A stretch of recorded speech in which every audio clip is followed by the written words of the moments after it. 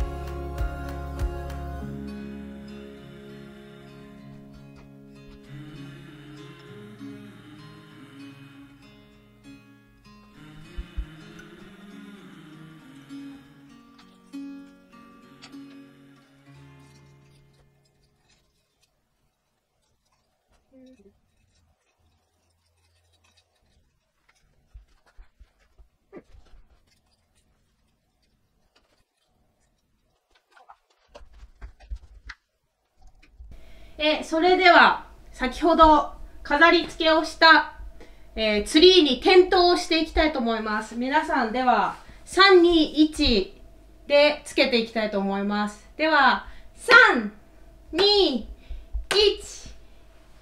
ダラーじゃん。こんな感じです、えー2021年クリスマス。えー、ユティラ家のクリスマスツリーはこんな感じの仕上がりになりました。ちなみにこちらのキャンドルのような形になってるこの置物もフィンランドではかなり、あのーメジャーですね。はい。クリスマスになるとどの家にも置かれるようなはい置物になっております。こちらもねあの前のお家から持ってきました。あったやつ。をはい。倉庫にあって誰のでもないっていうのではいもらってきました。いろいろと。そんな感じです。ではえー クリスマスツリーをね飾っただけじゃちょっと物足りないかなと思いますので今日はクリスマスのジンジャークッキーを作っていきたいと思います。行っていきましょう。はいではそれでは作っていきたいと思います。えっとまた材料等の詳しい分量とかはあの概要欄に載せていきますので作り方を紹介していきたいと思います。まずえっとお鍋にですねバター。バターをこれ100、えー、125g 入れます。はい。でえっとそこにこのルンマシーラッピ。これはダークシロップなんですけれどもこちらをね 100g このお鍋の中に入れていきます。日本だとまあブラウンシュガーで代用するかもしくは黒蜜で作るといいと思います。こんな感じのねシロップなんですよ。はい。これ多分ブラウンシュガーでできてるんだと思うんですよね。これ 100g 入れていきます。甘いです。ここに 85g のお砂糖お砂糖をプラスで入れますシロップはねお砂糖に比べるとそこまで甘ったるくないのでそのためなんですけど。はい。でここにえっといろんな種類のスパイスたちを入れていきます。こんな感じですね。まずこちら、えー、シナモンですね。シナモンをまあ、ティースプーンで小さじ1と考えていただければいいと思います。小さじ1杯とあとインキバーリーヤウヘって書いてあるんですけどこちらがあの生姜生姜の粉ですね。生姜のスパイ粉をこちらも小さじ1杯入れていきます。はい。小さじ1とかちょっと私多めに入れてるので。その辺はさじ加減は皆さんにお任せしますがもし興味がある方は。はい。でネイリカ。こちらがクローブクローブですね。クローブの粉。でこちらも小さじ1はい。で これポメランシヤウフェって書いてあるんです。こちらがオレンジの皮を乾燥させたものですね。こちらを小さじ2分の1入れていきます。でもしこれって日本にもあるんですかね？ちょっと私わからないのでもしなければフレッシュなオレンジの皮を少し吸って入れてあげると香り付けになるのでこのくらい2分の1です。入れますと。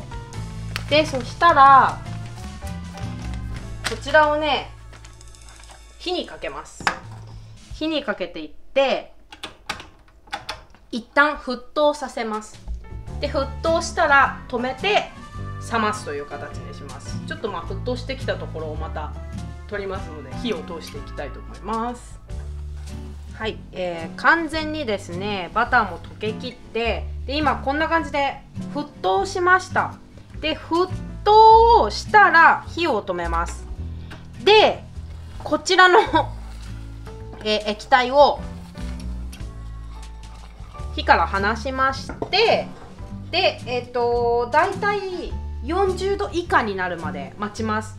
なので大体1時間ぐらいかかりますかね。もしあの時間がない方とかはあのボウルにお水を張ってそこにつけてちょっと混ぜて早く冷えるようにしていただいても構いませんがはい。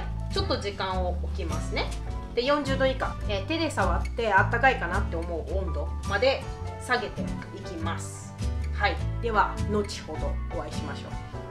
はいそれでは次の工程に進んでいきたいと思います。先ほどね熱していたあのバターとお砂糖とスパイスたち。ではいあったかいかなぐらいです。手で触ってあったかいかなぐらいまで冷めてますのでこれを、えー、電動ミキサーでちょっと泡立てる感じ。白っぽくなるまで泡立てます。でもここに、えーと、卵を入れますね。卵を入れると絶対に色が少し変わってきます。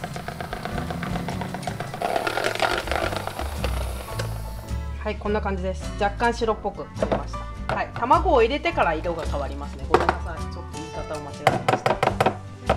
でここに粉類を入れていきます。ここにはね、えっと、小麦粉とあと、えー、重曹が入ってます。ちょっと待って。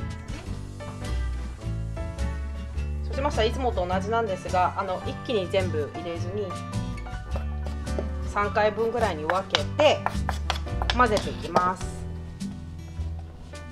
特にあの特別なテクニックはいりません。混ぜ混ぜれば。しっかり全体が混ざってくれれば大丈夫です。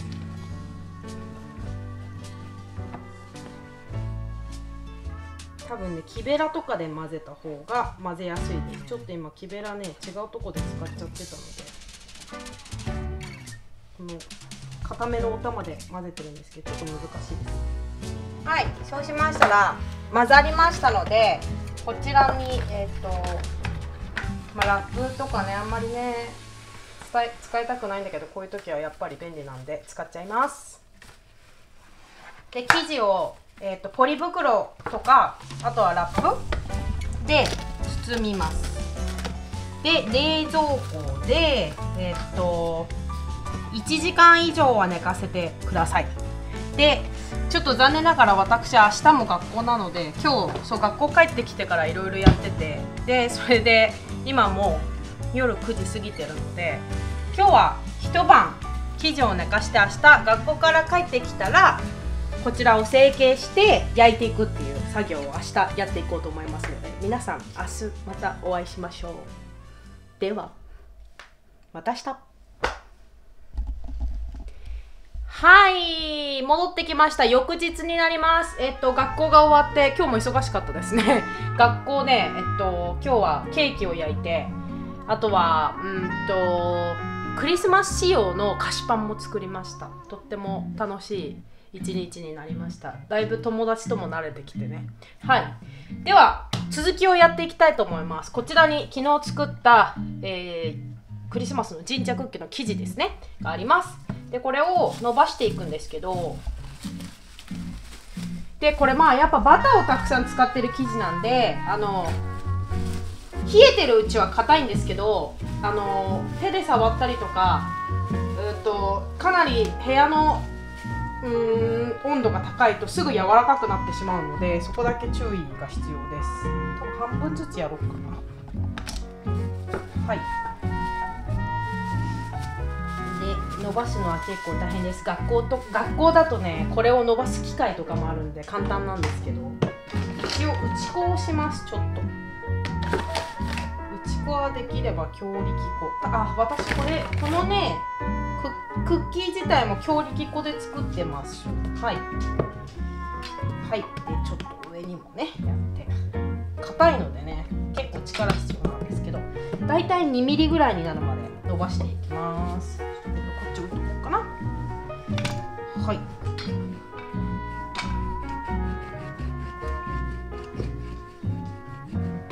これでだいぶ伸びてきた。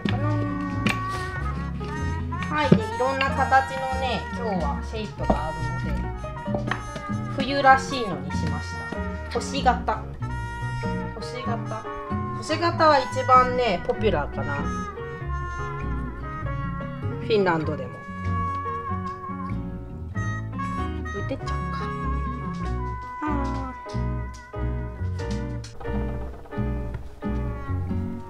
サンタの靴下も着ますよ楽しいねやっぱ。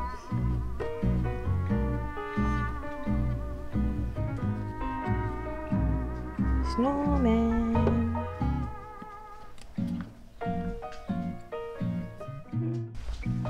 でこれをねえっと190度のオーブンでだいたい10分ぐらい約10分8分から10分ぐらいですね。焼いていきます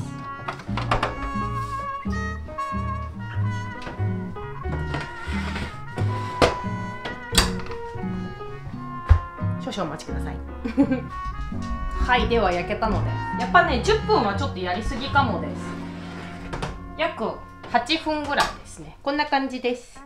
じゃーん。であのこの時点では結構生地まだ柔らかいのでで冷めた時にパリッとなりますのであのこの時柔らかくても心配しないでください。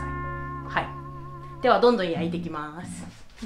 はいそうしましたらだいぶ焼けてきました。今最後のプレートをオーブンに入れてるんですけどせっかくなのでアイシングをしていきたいんですね。はい。アイシングを。これも自分で作りました。おまでけます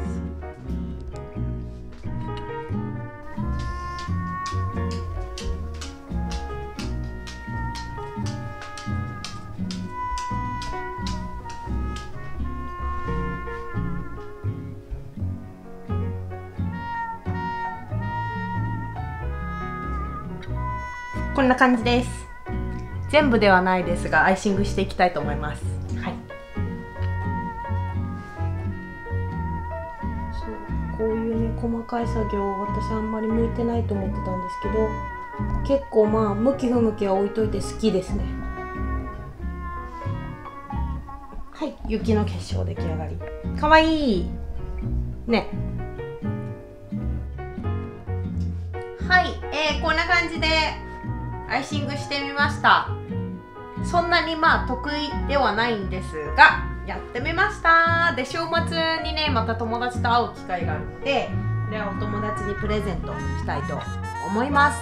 では本日の動画は、えー、クリスマスツリーを飾ったのとクリスマスの、えー、ジンジャークッキーですね。フィンランド語で言うとピパルカックって言います。はいピパルカック。はい覚えてくださいね。では次回の動画でまたお会いしましょう。それではバイバーイ